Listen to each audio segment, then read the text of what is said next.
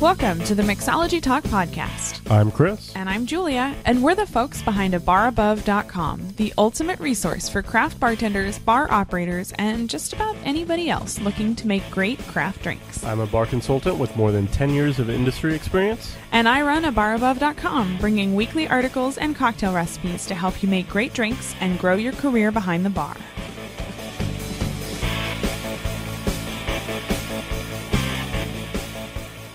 This is episode number 99, and a couple weeks ago we received an email from a listener in an interesting situation. He'd spent his entire career working in public schools, and he decided after his retirement that he was going to work as a bartender.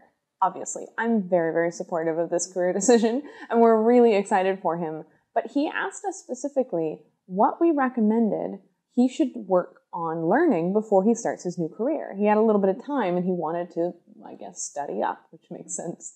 We actually get this question kind of a lot. A lot of folks getting started in the industry and want to know what they can do to be prepared. So that's what we're going to talk about this week. We're going to answer our listener question and uh, hopefully provide some useful advice along the way.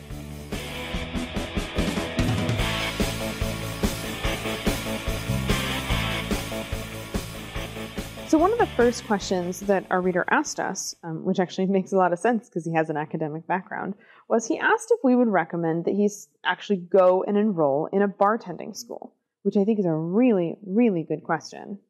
And um, for me, I definitely don't want to discourage anybody from going to bartending school because it is better than nothing. But there are a couple things to really be careful about and a couple things to look for when you're shopping around and considering going to a bar school. The first thing, and I think one of the most valuable things about a bar school, is look for one that gives you the physical element of learning the craft. And practice, and, and repetitive practice. I know I went to an afternoon bar school. It was like three hours long. And in the course of that time, we got a like a history of the cocktail, and I got to pour one drink that would not have been useful. yeah, and so much, um, and one of the things I really reinforce with this reader is so much of what we do is a physical skill and muscle memory that just repetitive motion over and over and over and over and over again is very, very valuable. And it's something that you just can't jump right into. So find a bar school that really helps you get that muscle memory in and goes through the repetitive process of learning the, our skill set. Yeah, I think that makes a lot of sense to start to try to build that muscle memory. And do keep an eye out. There are, unfortunately, a lot of low quality schools out there. Gosh, I've come across several that are like an online two hour video course, and they say that at the end of that course, you're going to be a pro behind any bar. I hate to break it to you, that's not true. It's uh, completely unrealistic. Be discerning, be picky. A lot of these programs are very expensive. I would say, like we mentioned, find one that gives you lots of physical practice, find one that's run by a professional bartender and I would also say, I know that you highly recommend looking for a bar school that has job placement. Yeah, I think that's one of the biggest values that a bar school can provide because it can answer a lot of demand in the market. If you know as an employer that you have this endless supply of new bartenders coming through the ranks through the school, it makes a really good partnership. But on the other end, as a new bartender, all you need is that first job to get your experience, to say that you've actually tended bar somewhere. So find a place, if you can, that offers that first job placement because that's where the real value of a, a, decent bar school is, in my opinion. Yeah, and one last thought to consider when you graduate from bar school, don't, I guess I would just say, don't be cocky. And there's so much you can learn from just doing the hours and hours behind the bar. Yeah. And, and so, I, I mean, I think, yes, it can definitely help you learn the physical skills. And I do think that can be very, very helpful. But you may actually consider not putting it on your resume in this industry, it's something I've never seen in any other industry. I have actually seen having a bartending school on your resume as it's almost like a sign of inexperience. Yeah, it's a sign of like I don't have enough of any experience put on my resume. So my tendency is to tell people not to put it on there. Yeah. Unless you have a really great school in your location, wherever you're at, and that has a great reputation in the community, I would probably avoid putting it on a bar on your resume. And it just goes back to why you would look for a school that has job placement because once you have that experience, you won't need to put it on the resume. Exactly. Yeah. And one last thing on bar schools um, before we go, I did actually attend a bar school after I became a bartender, and one of the things that I really kind of didn't care for was their actual recipes. Very outdated, very old school, weren't relevant at the time, and I don't know if any bar schools have really updated their curriculum but it's something else to keep in mind, and the fact that the recipes that you're learning will probably not be the same recipes that you actually 10 bar with.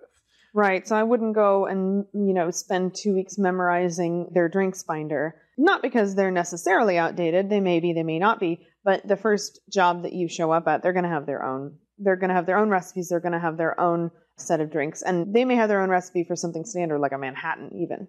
So take the, the specific recipes, I guess, with a little bit of a grain of salt. Right. Definitely make sure you can pass the test and all that stuff. But don't be surprised when you get your first job if the recipes are very different from the ones you learned in bar school. Now, one of the other things I mentioned to the reader was the fact that um, you know there's a lot of great books out there to just go ahead and wrap your head around um, our industry and some really great recipes and just kind of get a better understanding of what you're about to sign up for. And typically, the first book I recommend, especially if there's a focus on craft cocktails or getting into mixology, is Dale DeGroff's Craft of the Cocktail. That's a great place to start. Yeah, and there's so many good reasons why this is kind of the first recommendation that I give people. First of all, Dale DeGroff is single-handedly the person that everybody looks to as creating this craft cocktail movement and revitalizing it. Uh, his work at the Rainbow Room really shifted the way bartending was looked at, and um, the recipes, even now that we work with, incorporating fresh juices and syrups and getting away from sweet and sour and you know neon green products that go into the cocktails. He was kind of the person that, that brought this all back. And the recipes are solid in this book. You can't really go wrong with the recipes in this book. So that's usually my first recommendation. Yeah, I know that you've also often recommended Joy of Mixology, another great book. So the second book I usually recommend to people is The Joy of Mixology by Gary Regan. He is one of those big figureheads in this industry as well. This particular book does a lot to understand structure of cocktails. Uh, he's one of the first people that, in my opinion, really set up kind of cocktail families. Some of the, the recipes in there are definitely dated, but he also has some nice story. He's a really good storyteller. So he's got some great stories about things to keep in mind as you uh, kind of work yourself into this bartending role. Uh, he's got some really great stories and uh, is worth a definitely worth a read. And one of the last ones I usually recommend to people is Setting the Table by Danny Meyers. And this is not a bartending book, but this is definitely more along the lines of a hospitality book. Anybody that's getting into hospitality that's never been in there before should really truly understand what you're getting into and the mindset that you should adopt. And this is an amazing book for that. And the last couple books a little bit more of advanced reading, but Morgenthaler's Bar Book, absolutely fantastic read. You know, once you've gotten through, made your way through these, I highly recommend that. And also kind of sprinkle in some of the old school classics like Jerry Thomas or Charles H. Baker, just to name a few. They're solid foundation books if you're getting into craft cocktails. Yeah, absolutely. And to sort of piggyback on that and to kind of go against what we just talked about, Another good thing that would probably be a good piece of preparation would be just familiarize yourself with some of the common recipes that you can expect to get ordered when you're on your first shift. I think while we did discuss the fact that every every bar is going to have its own sort of recipes, it's also probably a good thing to know that a margarita is made with tequila. Right. And there are just some standard cocktails that, that I think everyone should be acquainted with. So that way, when somebody orders it, you don't like look at them like you're cross-eyed or they're speaking a foreign language. You know, these some really great old school classics, and um, I would definitely recommend knowing these instead of spitting them all out here on a podcast. Why don't we put a link to some of the cocktails in the sure, uh, show notes? We'll, we'll definitely put the link in the show notes. But I mean, it's it's definitely not going to be anything that'll surprise you. And you know, margarita, old fashioned, Manhattan, that sort of thing. Right. I think just familiarize yourself with the common cocktails. And like I said, we'll put the list in the show notes, which will be at mixologytalk.com slash 99. Yeah, and uh, the last thing to kind of keep in mind as far as recipes go is there's many different types of bars out there. If you're going to be working in a tiki bar, they're going to have their own standards that you should really know that aren't going to be the margaritas and the old fashions. Right. If you're going to be working in a neighborhood bar, you're probably going to be making very few cocktails. You'll be pouring a lot of beer. A lot of beer, a lot of shots, you know, maybe a couple of gin and tonics, and that's about it but don't get too caught up on like just understanding a ton. More cocktail recipes is not always a good thing. understand the basics really well first, understand balance, drink a lot of these drinks yourself. Not all at once. Not all at once, and uh, you know, definitely uh, not all at the same time. But uh, you definitely want to get associated with, or kind of develop your skills as far as balance and what it should Right. taste like. And um, like I said, that Dale DeGroff book is a great place to start for understanding um, cocktail recipes and balance. Yeah, and I think be gentle with yourself as well. I think that nobody's going to expect you to show up at your very first bartending shift and be able to describe in great detail the difference in taste between a daiquiri and a margarita to your customer. I mean, be gentle with yourself, give yourself time to learn, but also hustle. Yeah, absolutely. um, and, and the other Speaking of hustle, Uh, Speaking of hustle, it's a very physically demanding job. I continuously tell people this, but you're running a marathon behind the bar. You really are. So developing your physical skills quickly is very, very, very vital. And um, if you're looking for your first job, this is a good place to start. If you're not peppering the, the city with resumes, you know, practice your physical skills. I think the first physical skill that every bartender should know is the art of free pouring.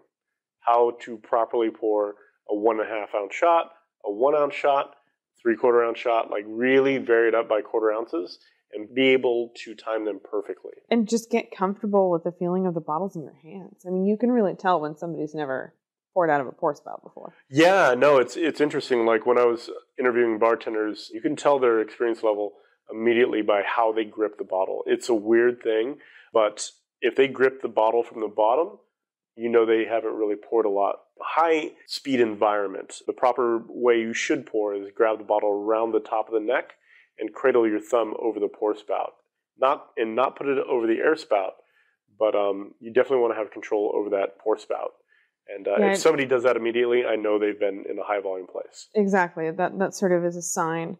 And so, what about shaking though? That's I mean, when I think of bartending, I think of shaking. Yeah, and this is one of those things that you just you can tell somebody's experience level very quickly by the not only the way they shake, but the biggest telltale sign is how they break the shaker open. Ah, Um, so it, and it's really it can be very funny, but it can also be kind of tragic. Um, and watching how somebody actually shakes a cocktail after a while, you know, there's a couple different ways, but people without a lot of experience or people that don't have a lot of experience tend to shake it really kind of more in front of their body and they kind of cradle it like a baby or it's weird how they hold it but experienced bartenders will shake it fairly vigorously and, and hold it in their hand like a football it's almost over their shoulder. over their shoulder, Yeah. or they'll definitely put a lot of force in it. So go to your bar, your local bar, watch how they shake cocktails, practice that in the mirror, and um, And- sorry, you just said holding a cocktail shaker and shaking it like a baby. And no, no, don't shake it like a baby. No, I'm like not. I'm not laughing at no, that. I'm sorry. yeah, but I yeah. couldn't help but laugh. Um, no, thank you for catching that. Definitely don't shake it like a baby. Um, but spend some time on YouTube. There are so many great videos that can help you show you where do you hold, how do you hold, and just do that practice. Stand in front of a mirror, be that guy, video yourself. Just getting a little bit more comfortable. You know, the difference between your first shake and your 20th shake is going to be huge. Yeah, and um, there is one huge thing: do not do. Whack Don't it against the bar. ever, especially if you're working with glass, don't try and break the seal on the bar. That's an instant. People do that? Oh, all the time. clean. Even experienced bartenders that I've I've Oh. seen have done that before, and it can be extremely tricky to break that seal. But with enough experience, you know, you do it a couple of times. Actually, make a drink in there. Put water, put ice, put alcohol, whatever you want in there. But real world experience of breaking that seal can be very, very difficult to do. And people have like bang it on the bar. Oh my god. It's it's really I bad. mean, if it's glass, that just sounds dangerous. it's going to break eventually. So Oh, you broke the seal. put the time in, learn how to do it right. Yeah, that's definitely worth it. I would also say to spend a little time learning to stir. It sounds a little counterintuitive. We all know how to stir our coffee, but there's a little bit of finesse to it. Yeah, and this is something that I see very experienced bartenders not doing at all. And it's kind of alarming, shaking Manhattans and all that. And I get it, it depends on where you work, but it's pretty much standard. If it's spirit only, you stir it. But there's a good way to do it, there's a bad way to do it. A lot of new bartenders or people that don't know how to stir a cocktail will actually invert the spoon. So the spoon is facing up and the top of it's in the drink because you don't have as much resistance. Oh, interesting. Right, Is and that I- a sign of like naivety, or is it a good thing to do if you're new? If you're new, it's not a bad thing, but I really do recommend putting the time into learning how to how to stir a cocktail. You're going to get a lot less resistance because there's no bowl kind of dragging its way through the ice.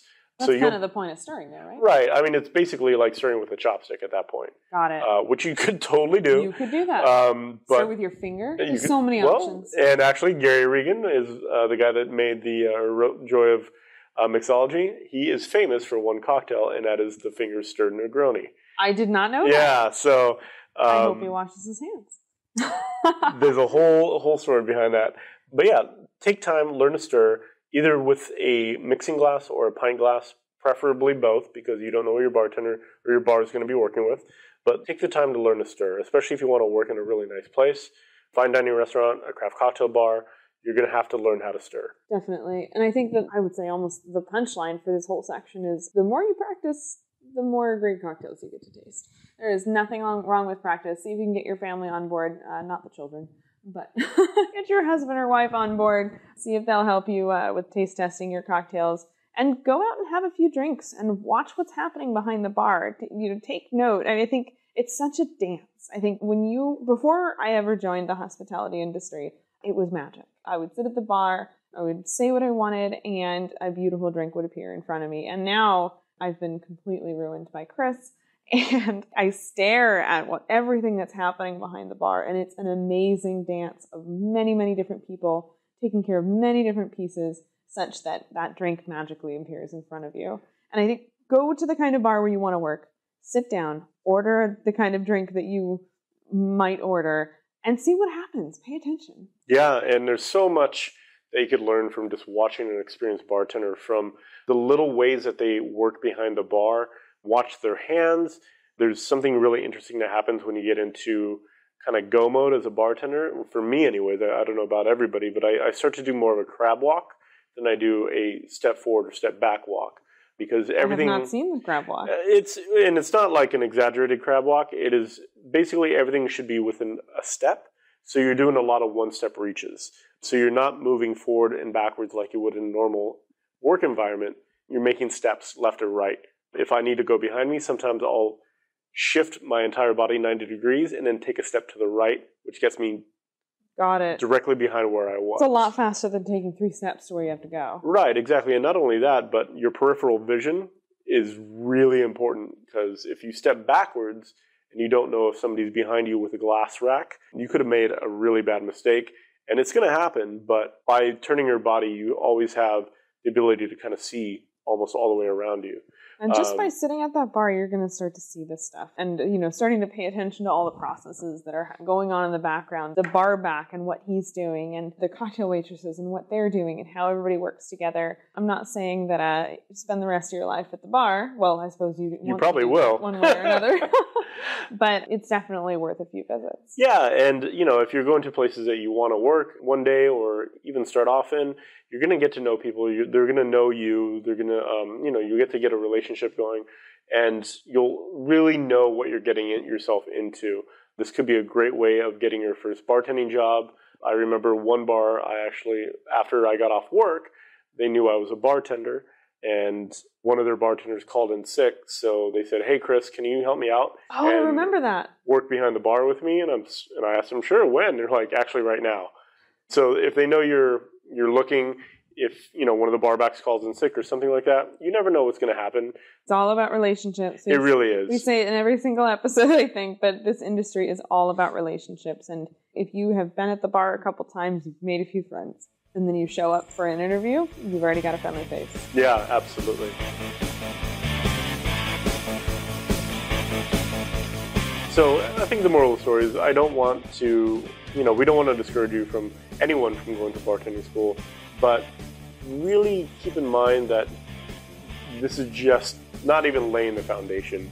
You're getting a sneak peek and that's it It may give you a little bit of physical practice, but I would definitely suggest doing more of that, especially if you go to the kind of bar where you want to work. Take a look around, see what tools they're using, and then go sit in front of a mirror and, and, and just practice. Yeah, and it's going to take you many years to develop solid, solid skill set Just like the bar. any career, and there's nothing wrong with that. I am just so excited to hear somebody say they're taking on bartending as a second career. Yeah, that's think pretty amazing. Fantastic.